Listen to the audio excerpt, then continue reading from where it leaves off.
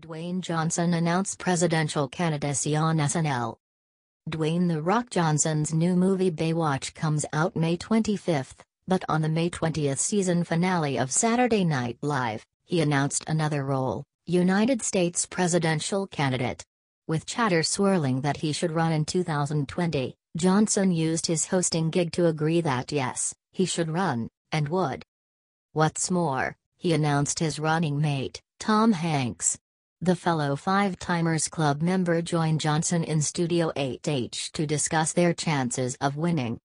Johnson told Hanks, Americans can only agree on two things pizza and us. Together, we would get 100% of the vote, Hanks replied. I would get the senior vote, because I fought in World War II. In like 10 different movies. Johnson agreed, I, of course, would get the minority vote. Because everyone just assumes that I'm, well, whatever they are.